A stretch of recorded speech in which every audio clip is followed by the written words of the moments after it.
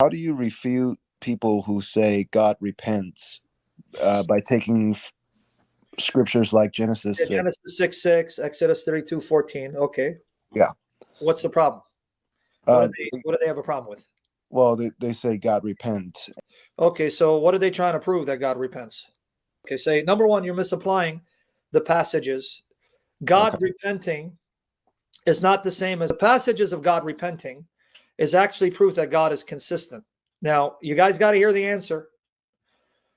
You got to learn how to respond to these passages. It's actually a proof that God is consistent and God cannot go against his nature because these passages do not teach what they claim they do. They're teaching a different point. So read for everyone Genesis 6 6. Uh, give me one second. Yeah, you don't need to mute your mic if you're not driving. Genesis 6 6.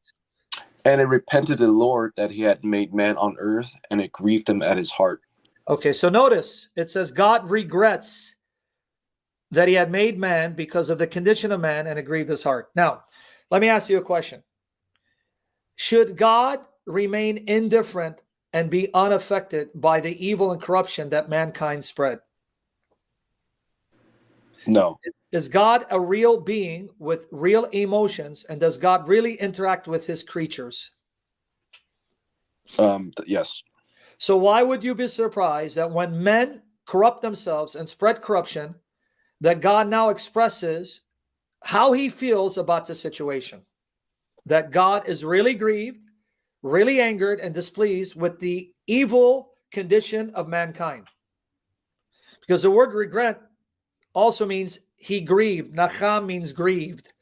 It pained his heart to see the evil condition of mankind. So should God remain indifferent, emotionless? Because that's not the God of Scripture. The God of Scripture is not a God who's emotionless, right? God genuinely loves. God generally rejoices when a sinner repents, right? Yes, But at the same time, God is truly angry and truly hu- grieved and hurt by sin. We got that? yes. Uh, Sam, can you repeat that uh Hebrew word that you said? Um, Nacham. yeah, okay, Okay, yeah, you don't even need to do the Hebrew. This is just my point. You get it, right? yeah, and I guess um, and I totally understand you. I guess because when I was in the cult, we were taught a different definition of repent. Um, Yeah, So- repent means, in this context, repent means he was grieved, he was pained. okay, He grieved and was pained at what man ended up doing on the earth. The Bible clearly depicts a God who has real, genuine emotions. He really, genuinely loves. He really, genuinely is glad. And he really, genuinely gets anger and is disgusted and he grieves because he's a God that truly involves himself with his creation, right? yes, So until you sin, before you sin, is there any reason for God to be angry and upset and any reason for him to grieve over a sin you haven't committed?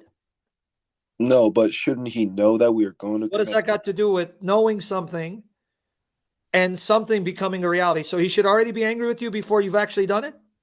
No, So why should he be angry with you today for a sin you're going to commit tomorrow? yeah, Are you with me or no? yes, I am. Okay. So should God be angry with you today before you watch it? No, Okay, Now, so number one, learn about the the God of the Bible. The God of the Bible is not sterile.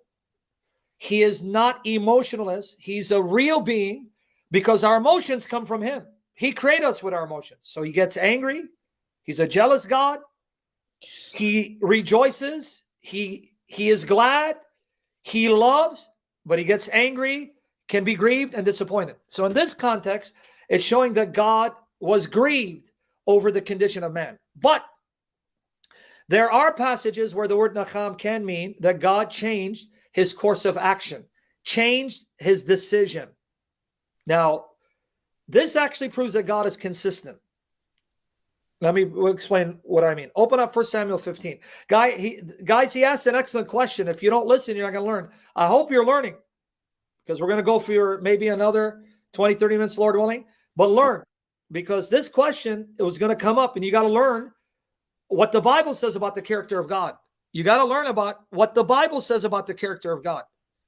So you can have an accurate view of what the Bible teaches about our God. He's real and he really involves himself with us because he loves us. He's not distant and indifferent and sterile. He really loves us and he really interacts with us on a personal level where your actions impact him. But if you haven't committed an act, then there's nothing for God to react to if you haven't done anything. You see, so he may know you're going to do it tomorrow, but until you make it a reality, what's there for him to react to? Okay, now, First Samuel chapter 15. Okay, you ready? Yes. Now, the same word, Nacham, is used in these three verses. Now, pay attention, guys. First Samuel 15, same word used. It's Nacham in Hebrew, in Hebrew in these three passages. But now notice how the meaning changes. Because a word can have a range of meaning, right? Yes. Amen, Lotus. Praise the Lord, brother.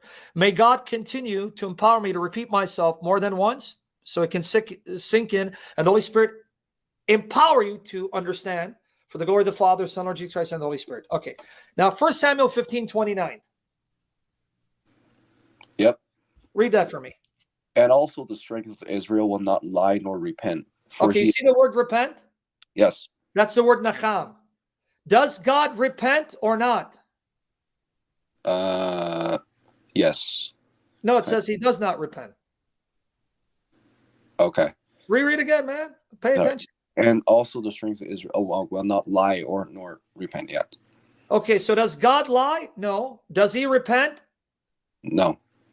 But I thought he does repent because it says nacham, right? Same word, guys. So here it says God does not repent, nacham, right? Yes. You're getting it. You got to get it because I'm helping you answer the Mormon. hmm You got it, right? So God does not nacham, repent. Everyone Oh. got it? For Samuel 15, 29. But then in 1 Samuel 15, 11, the same chapter, it says God does nacham. Same Hebrew word. Read 1 Samuel 15, 11. It repenteth me that I had set up Saul to be king, for he yeah. Okay, For- you confuse me. 1 Samuel 15, 11, God says, It repenteth me that I made Saul king. Mhm. But then in 29, it says God doesn't repent. So you mean in the same chapter, same word is used so that the author is contradicting himself? no. But now read 35, 1 Samuel 15, 35, because I'm going to explain it to you. And Samuel came no more to see Saul until the day of his death. Nevertheless, Samuel mourned for Saul, and the Lord repented that he had made Saul king over Israel. So in 1 Samuel 15, 11 and 35 says, God, Nacham, he repents. Yes. But in 29, it says God does not Nacham, does not repent. Yep. There is no contradiction because the term Nacham, guys, this is how words function. Words have a range of meaning. The context will determine what meaning applies in a particular context. So, in 1 Samuel 15 29, when it says God will not Nacham, mean God does not change his character, his nature, his purpose. In the grand scheme, God's purpose will ultimately prevail and he'll accomplish it. But in 11 and 35, there Nacham means God was grieved. God was displeased making Saul king because Saul disappointed God. So it has two different meanings. In 1 Samuel 15, 11 and 35, the meaning there is that God was grieved, God was disappointed, God was hurt over Saul's rebellion. He grieved the fact that he made such a such a person a king who ended up rebelling and disobeying God, right? Yes. But in 30 and 29, the meaning is God's purpose and nature will not change. God remains immutable in nature, and God's purpose will always stand because even though circumstances change, God will still accomplish his purpose in spite of the choices people make because he can work through those cho- choices to bring about his perfect will. Understand. Yeah, I got it. Okay, but now let me show you how this proves that God is consistent. You with me there? Let me show you why. Because, okay, go to Jeremiah 18, 5 to 12. Now you're going to see how this shows that God's nature is perfect and that God reacting to what you do shows he's consistent and his nature doesn't change. What do I mean? Okay, now go to Jeremiah 18, 5 to 12. Yes, I'm looking at it. Now, watch here how this actually proves that God is consistent, his nature remains steadfast, his nature is immutable, and therefore, because his nature does not change, God reacting to what you do is actually proof that his nature does not change. Where am I? 18, 5 Okay. to 12, right? Yep. I'm looking at it. Go ahead, read it. Well, you got to read it. I can't read your heart. Then the word of the Lord came to me, saying, O house of Israel, cannot Slowly and loudly so we can follow you. Okay. then the word of of the Lord came to me, saying, O house of Israel, cannot I do with you as this potter? Saith the Lord, Behold, as the clay is the potter's hand, so are ye in mine hand, O house of Israel.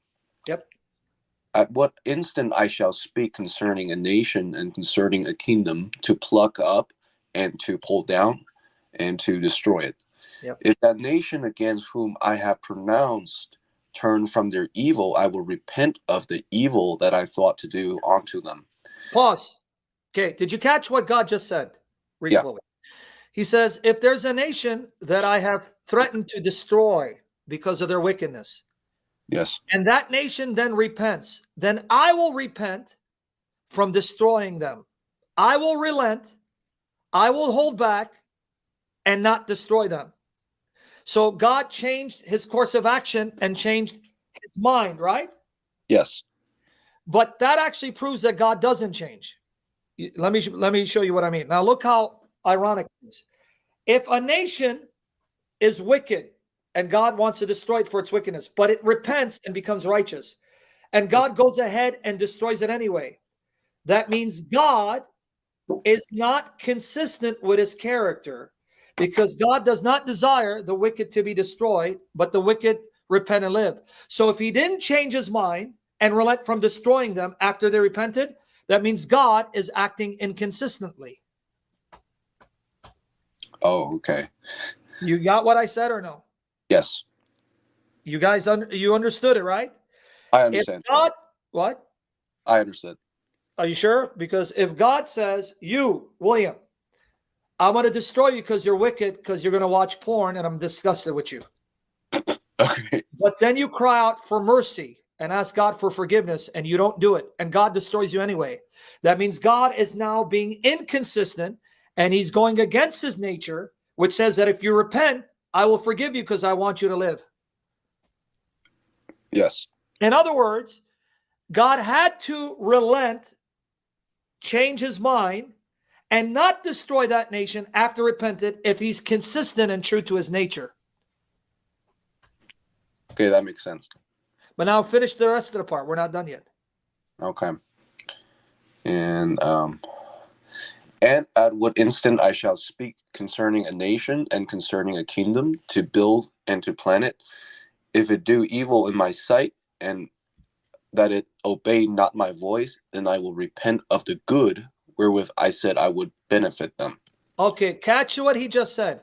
But if there's a nation, nation, nation that's righteous in my sight and doing good, and I say, I'm going to now prosper you and bless you because you're righteous, but then it turns away from its righteousness and engages in wickedness and immorality, then I will repent, relent from the good that I promised to bestow on them. So now, if a nation that's righteous becomes wicked, and God continues to bless them. Isn't that a sign that God is being unfaithful to his nature and acting contrary to his nature so that his nature is not consistent? No, it's the same thing as the pa- the last passage. Ah. It's just In other words, God has to change his course of action and change his will in response to your action if he's going to remain faithful and consistent with his nature.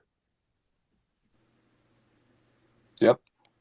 So, isn't ironic in that these passages where God is repenting or changing his mind or changing his purpose and course of action is actually proof that he's consistent and his nature never changes? Yeah, it is. There you go. There's your answer. Okay. Well, See, I- this is why we can't read the Bible on a shallow level. We have to go deep and say, wow, this actually proves that God is consistent. His nature is unchangeable because he can't continue to bless the righteous who become wicked if he's holy, and he can't destroy the wicked if they repent if he's merciful. So his actions will be dependent on your choices. You're evil because I'm holy, I have to punish you. But if you repent, I will forgive you because I'm merciful.